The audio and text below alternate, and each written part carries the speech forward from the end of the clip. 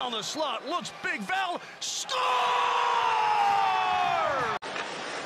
Back it comes for Cale. MacKinnon, fake the one-timer. No wrist shot available. Back to MacKinnon, one-timer there. Score! It ricocheted goes in! What did it hit? The Avalanche have won in overtime by a final score of 4 to 3 over the Vancouver Canucks. That's four unanswered goals. Battling, and without Val there, nothing happens. It also could have went off Ian Cole on the backside. Here comes the one-timer. It's a shot. Oh, it hit Nichushkin in the head. Did that go right off Val Nichushkin's visor? This would be the best use of a visor I've seen in some time. It does, right between the eyes. It was a seeing eye shot, literally. He used his laser vision off the visor and down and in.